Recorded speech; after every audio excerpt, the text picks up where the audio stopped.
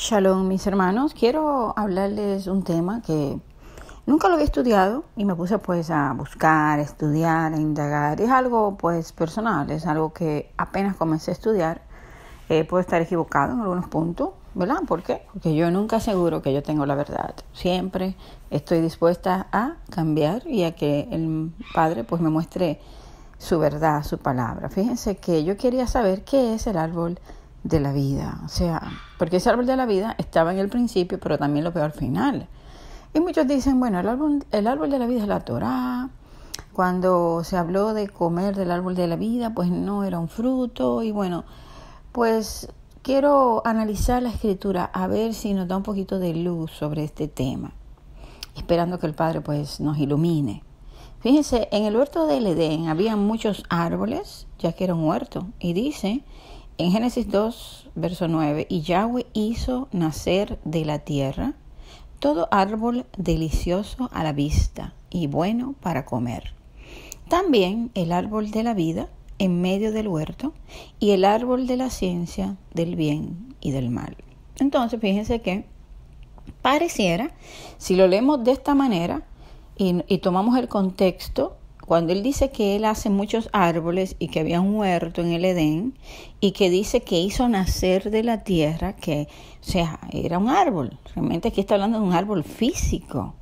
Y que los frutos que tenían estos árboles eran deliciosos y que eran buenos para comer. Incluso da una descripción de la acción que se hacía con lo que salía del árbol. Y a uno le llama, aparte de todos esos árboles, a uno le llama árbol de la vida y a otro le llama el árbol de la ciencia del bien y del mal. Fíjense que cuando ella peca, eh, Eva, y luego le da a su marido a comer, habla también de comida y le dio a comer y, le gustó y vio que era agradable los ojos. ok, sabemos que detrás de todo esto estaba la ambición y querer conocer y querer ser semejante a Yahweh, o sea, que sus ojos le iban a ser abiertos y ella pues lo que le llamó la atención en sí era lo que había detrás de la desobediencia. Entonces ella toma y dijo, bueno, y, para, y para colmos se ve bueno este árbol, pues también me lo como. A veces yo pienso que Yahweh también pone cosas sencillas para que su pueblo la cumpla. Porque muchas veces quizás queremos espiritualizar este árbol y decir, no, pero es que no, a lo mejor no era un árbol. Pero, hermanos, cuántas cosas y mandamientos sencillos Yahweh nos ha dado. Y muchos de ellos tienen que ver con comida, realmente. Póngase a pensar los sacrificios, las cosas, las fiestas, en los Shabbat. Son cosas sencillas. Y siempre tiene que ver con el comer. Y siempre tiene que ver con, por ejemplo, un sacrificio y es comida. Eh, sacrifica, por ejemplo, el pan, el pan de la, del sacrificio que se presenta, el pan que se usa en el Shabbat, que representa esto, lo otro. O sea, siempre vemos envuelto dentro de los mandamientos que Yahweh ha puesto, como las fiestas, la comida. Y luego pues también hay un sentido espiritual de todo esto, porque el cordero que se podían comer en la Pascua representaba al Mesías, el pan representaba el pan de vida, no, no dice que no solo de pan vivir el hombre, sino de toda palabra que salga de su boca. Entonces vemos ahí también una parte espiritual, pero no podemos eh, quizás quitar la parte física, física, porque tal parece que sí era tan sencillo como no comer de ese árbol. Y si lo leemos detenidamente nos vamos a dar cuenta de que habla de algo que se come aunque detrás de eso, ¿verdad? Está lo que querían ser. Por ejemplo, Yahweh nos dio comidas inmundas y comidas mm, eh, que se pueden comer. Entonces él dice, de estas comes, de estas no comas. Entonces, cuando tú te comes la que él prohibió, tú te la puedes comer, porque muchos de nosotros venimos de ahí y muchos que nos gustaba, ¿verdad que sí? Entonces, pero cuando tú lo haces, estás siendo desobediente. Y no es que porque tú te comas un plato de camarones, por ejemplo, te vas a morir. Porque tampoco es que es un veneno. Pero él dijo no lo coman, no es apto para comer. Igual que el cerdo, igual que también otros animales. Hay unos que son peores que otros, porque por ejemplo la rata no se puede comer, hay gente que sí se la come, pero ¿verdad? Hay cosas como que nosotros decimos, no, eso no, pero bien que nos comíamos muchas cosas que eran prohibidas. Entonces fíjense que la desobediencia también viene a raíz de la comida. Ok. Tal pareciera que el árbol de la vida era un árbol que al comerlo era sanidad al cuerpo. Hoy hay muchas hojas, frutas de árboles que sanan enfermedades. Puede ser que sea un árbol dado al hombre obediente para preservar la vida eterna. O sea, ellos estaban ahí. De todos estos árboles ustedes pueden comer. De este árbol de la vida también puedes comer, porque ese es el árbol que te, con esa fruta, pues vas a poder permanecer vivo para siempre. Y que lo que significa es la obediencia. Por eso cuando ellos son sacados del jardín del Edén, pues se pusieron querubines para que ellos no encontraran el camino del jardín del Edén y dice que alargaran su mano y tomaran del fruto del árbol de la vida y vivieran para siempre. O sea, que parece que había una posibilidad de que si ellos no son sacados del huerto del Edén, ellos podían tomar de ese fruto y vivir. ¿Qué me indica eso? Que la obediencia nos trae vida, la desobediencia nos trae muerte y lo llevamos a un sentido espiritual. Pero parece que sí era un árbol que al comerlo daba vida. Ahora bien, entonces, ahí vemos que había un árbol, ¿verdad? Que representa la muerte y uno que representa vida. Obedece y vivirás, desobedece y morirás. Entonces, luego cuando le da las leyes eran así mismo aquí te doy mis leyes. Si tú la obedeces, vas a vivir, vas a disfrutar. ¿Verdad? Vas a disfrutar de la tierra, vas no vas a tener enfermedades. Así fue que él dijo. Entonces, vivirían en cierta forma como estaban viviendo, lo único que iban a morir, se iban a envejecer, iban a morir, pero ya Yahweh pues había determinado un plan para que eso volviera a ser como al principio, vida eterna, a través del Mesías. Entonces, si tú eres obediente, te vas a mantener alimentándote toda la vida. ¿Por qué? Porque la obediencia te va a llevar a la vida eterna y a través de ese sacrificio del Mesías ya podemos obtener esa vida eterna y volver al principio, porque vemos en el Apocalipsis que en la Nueva Jerusalén está este árbol de la vida.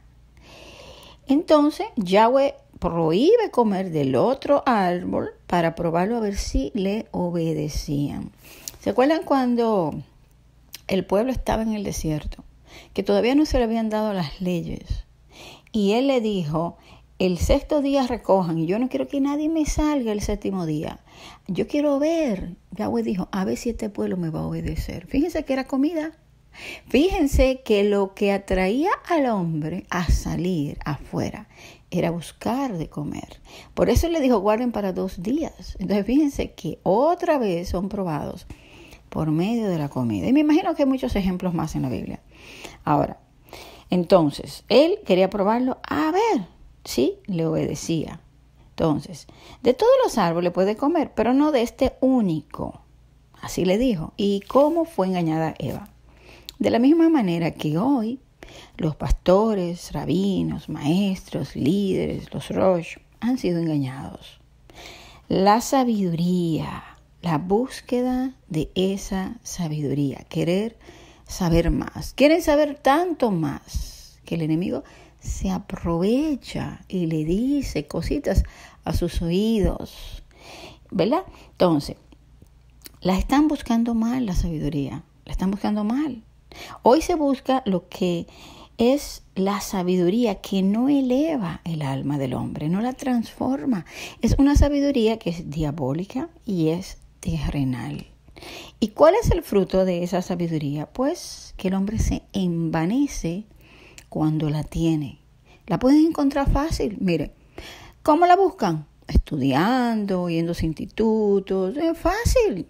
Se ponen en seminario por cinco años, se gradúan, después hacen un doctorado, una teología, buscan libros y libros y libros y montones de libros y videos. Y, y bueno, ahí está esa eh, sabiduría. O sea, tiene mucho conocimiento. ¿Y qué hace Yahweh?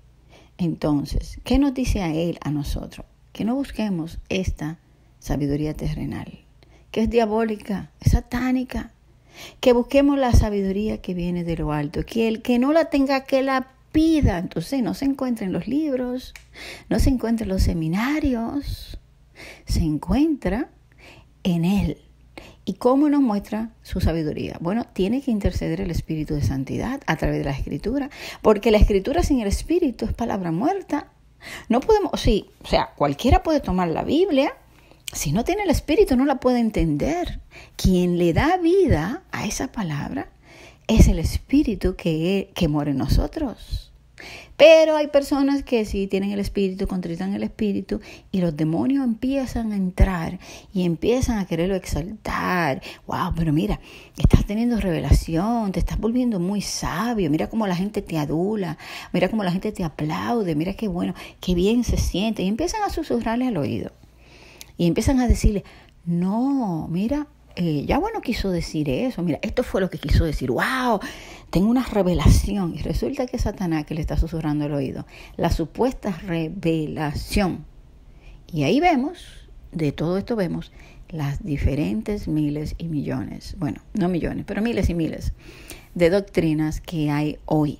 Y todas se matan porque ellas dicen que tienen la verdad y a uno insultan y el otro insulta al otro y no, porque tú eres un hereje Hermanos, ahí estamos. Entonces el enemigo se está gozando una vez más. Él sabe que le queda poco tiempo. Él tiene que traer este engaño final. Y muchos, y muchos, dice la palabra que aún entre los escogidos serán posiblemente engañados. Entonces, pero Yahweh no va a permitir. Él no va a permitir que los suyos sean engañados. Él le va a hacer ver la verdad. ¿Y cómo hace ver la verdad? Pues a través de mensajes como esto para despertarlos. Y aquel que está pues dejándose seducir del enemigo despierte y aquel que está en el camino, está buscando, no se deje engañar.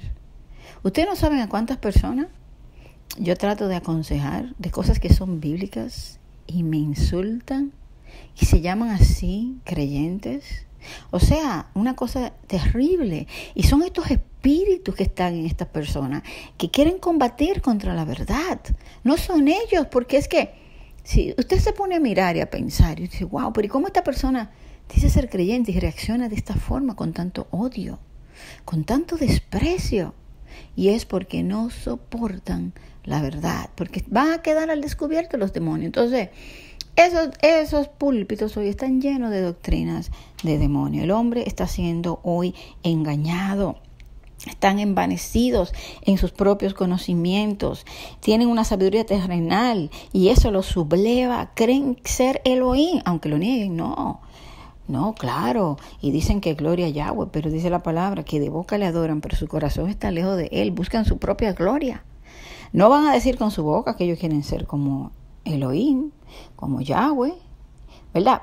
Sin embargo, Eva fue engañada y seducida y ella quería ser como Yahweh y lo que hizo y buscando esa sabiduría, eso que le mostró, ¿verdad? Eh, Satanás, ella lo quería. Y muchos hoy están siendo tan engañados que sutilmente no se están dando cuenta. Buscan su propia gloria. Entonces, fíjense, buscan puestos, títulos, ah, no, que el copastor, el pastor, el profeta, la, apóstol o el apóstol, y aplauso. Usted ve que hacen sus sus eh, predicaciones y, y, hacen sus folletos y salen la tremenda cara de ellos con, con, para que la gente lo vea, el profeta fulano. y así dicen que no quieren ser como Yahweh. Se están exaltando ellos mismos, están buscando su gloria, están allí en estos eh, púlpitos tumbando gente, algunos, otros eh, diciendo que vengan, que lo vas a, Él lo va a sanar. Mencionan a Jesús, sí, pero recuerden que muchos vendrán en aquel día, pero le dirán, maestro, maestro, pero nosotros predicamos en tu nombre, nosotros echamos fuera demonios en tu nombre, pero le conocían. Verdaderamente esa sabiduría que tenían venía del Altísimo. Porque si hubiese sido del Altísimo, no hubiesen llegado al extremo de nunca conocerle, a pesar de que tenían los dones para sanar. Qué cosa tan grande, increíble. Yahweh reparte dones, pero el hombre busca su propia gloria. aman más las tinieblas, quieren aplausos, alabanzas y quieren someter a las ovejas para que les sirvan. Ese fue el mismo pecado que anheló Eva. Y fue y le dijo a Adán, a ella al ver el árbol, Yahweh le abre los ojos, porque, déjeme decirle, Satanás le muestra, pero Yahweh permite que vea, a ver si peca y cae. ¿verdad? Somos probados por Él. Él permite, pero ya Él nos habló y sabemos cuáles son las consecuencias. Entonces, le abre los ojos. Ella vio los placeres del mundo. Wow, es bueno ser sabio. Es bueno conocer estas cosas ocultas. Es bueno los misterios. Y fíjense, él, ella quiso ver, conocer el bien y el mal. Y le atrajo, porque déjame decirle, se le fue mostrado el bien y se le fue mostrado el mal y le atrajo. Y probablemente le haya atraído más el mal que otra cosa, porque el mal atrae mucho a los hombres. Y le atrajo conocer eso y la idea de ser como Elohim, ¿verdad? Le atrajo y lo codició. Wow, yo quiero eso. Codició el púlpito, los aplausos, los puestos, ser grandes. ¿Verdad que sí? ¿Cuántos hay hoy codiciando ser como Yahweh? y han caído en la misma trampa. Ellos no lo saben, pero su corazón va detrás de estas cosas. ¿Y qué le dijo la serpiente? No moriréis, sino que sabe Yahweh que el día que comas de este árbol serán abiertos vuestros ojos. Yo me imagino que se lo dijo en una vocecita muy sutil. No, Eva, tú no vas a morir, ¿no? ¿Cómo va a ser? Yahweh te ama. ¿Cómo tú crees que tú vas a morir? No, no, él no quiso decir eso. Mira, yo lo conozco. Yo lo conozco. Él no quiso decir eso. Y le dijo, no, lo que pasa es que él sabe que tú, el árbol está ahí. Si tú te lo comes, ese fruto, entonces Tú, vas a poder ver muchas cosas interesantes.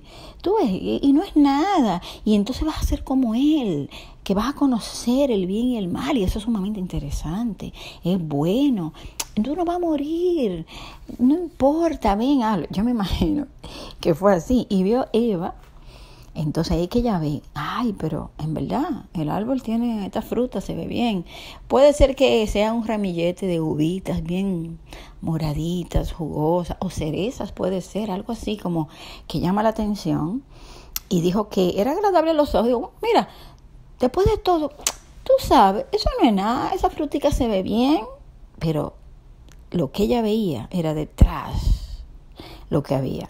¿Por qué? Porque el, árbol era codiciable para alcanzar la sabiduría. Así, aquí no está diciendo, ay, ese árbol es tan bueno porque mira, sabe a uva. No, no, no. La fruta se ve bien, pero si yo me la como, lo que yo estoy codiciando y lo que yo deseo es alcanzar la sabiduría de Yahweh. Eso era ser como Él. ¿Y qué sabiduría ella obtuvo? La terrenal. ¿Por qué? Porque cayó en pecado. Y esa es la sabiduría que tienen muchos hoy, porque el orgullo no les deja ver la verdad. ¿Qué quería Eva? Ser como Elohim, ser sabio como él. Sabía que comerlo le haría sabia. ¿Pero qué? Sabiduría, esa misma, la terrenal y diabólica, porque cayó en la desobediencia que da lugar a la muerte. Todos aquellos que tienen sabiduría diabólica su camino parece bueno, pero su fin es camino de muerte también. Y de ahí vienen todos los problemas con Adán, luego Caín, la humanidad, etc. Parece que Eva no era muy dócil.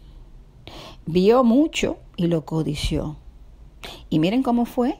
Y le dijo a su esposo, mira, tú sabes, eh, este árbol es buenísimo, vamos a hacer como Yahweh, si lo comemos. Y fue con su astucia también, la mujer fue astuta, y fue y le dijo que también se lo comiera. Entonces vemos aquí dos árboles. Ellos tomaron el prohibido y fueron sacados fuera del huerto para que no comieran del árbol de la vida. Ahora, eso lo vemos en Génesis 3:22. Lo saca para que no alargue su mano y tome también del árbol de la vida y coma y viva para siempre. Entonces, tal parece que este árbol que simboliza la vida eterna puede ser físico, ¿por qué no? Pero igual es un símbolo de obediencia que conduce a la vida eterna. Cuando Él le dice al pueblo en el desierto, no me salga nadie, no me salga nadie a buscar comida, el maná, no me, no me lo busquen, yo voy a ver si este pueblo me obedece. Igual era la comida, igual era la misma comida.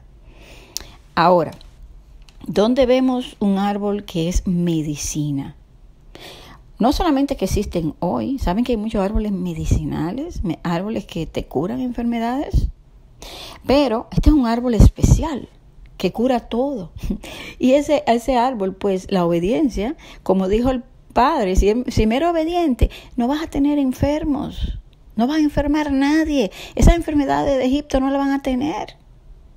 En Ezequiel 47, 12 dice, hablando de lo que había en el templo y en la tierra prometida, dice en el verso 12, y junto al río en la ribera, a uno y otro lado, crecerá toda clase de árboles frutales. Sus hojas nunca caerán, ni faltará su fruto. A su tiempo madurará, porque sus aguas salen del santuario. Y su fruto será para comer y su hoja para medicina. Fíjense, aquí hay un árbol ¿verdad? Que sale del santuario, que nunca le va a faltar fruto, ¿verdad? Y que las hojas de este árbol son para medicina y su fruto para comer. Entonces parece que este árbol, pues es el árbol de vida. El Mesías es el árbol de vida. Pero sí parece que hay un árbol físico, físico, que el que tiene la Torah, el que tiene el Mesías, tiene acceso a este árbol. Entonces, es extraño ¿verdad? Un árbol que sana, que da vida al que lo come. ¿Por qué dice alargar su mano? Si bien es cierto que Yahweh nos compara con los árboles como que dan fruto también, pero la misma Biblia nos hace entender que es una comparación y no dice que los frutos del Espíritu son codiciables para comérselos, no. Nos habla humanamente que los frutos del Espíritu son bondad, amor, mansedumbre, fe, templanza. Entonces, Fíjense cómo estos frutos del Espíritu no se comen, pero aquí está hablando de que los frutos se lo coman. Entonces, podemos comparar de que Yahweh está queriendo ver que hay algo que también es físico. Otro punto, en Apocalipsis 2, 7, dice, el que venciere, o sea, hay que vencer hasta el final, va a comer de ese árbol de la vida, ya que está en el paraíso de Elohim. Fíjense, ahí lo dice.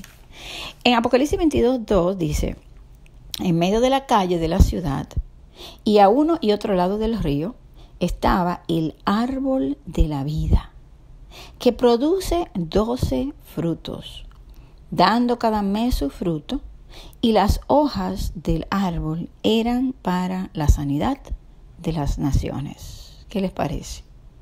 Entonces, este árbol vuelve a estar de nuevo en la Nueva Jerusalén ya ahí estamos en condición de eternidad. Y este árbol está ahí. Dice verso 14, bienaventurados los que lavan sus ropas, o sea, los que guardan los mandamientos, para tener derecho al árbol de la vida y para entrar por las puertas de la ciudad. Fíjense que aquí habla dos cosas usted va a tener el derecho a ese árbol, a comer esa fruta y tomar esas hojas y también caminar, entrar por la puerta de la ciudad, una acción física. Finalmente, sea un árbol maravilloso que podamos disfrutar comiendo o sea simbólico, lo que tenemos es que ser obedientes para entrar por esa puerta y tener derecho a ese árbol de la vida. En la Biblia Peshita dice, dichoso los que ponen por obra sus mandamientos para que obtengan el derecho al árbol de la vida y entren por las puertas de la ciudad. Entonces, este versículo 14 en la Reina Valera del 1569 tenía correctamente a los que guardan sus mandamientos. Y esto lo cambiaron por algo que sonara mejor, parecido ya que hoy en día se predica que la obediencia de los mandamientos no es la base sobre la cual se otorga la vida eterna. Y es triste, ¿verdad? Porque esto le está quitando a la palabra. Y este tema de quitarle o añadirle a la palabra lo voy a hacer en un segundo tema muy interesante porque estamos viviendo en ese tiempo. y hay un juicio para aquellos que lo hacen. Amén. Solamente quería pues dejarle hasta aquí lo que correspondía a lo que yo estudié y busqué sobre lo que es el árbol de la vida. Amén. Que Yahweh les bendiga. Shalom.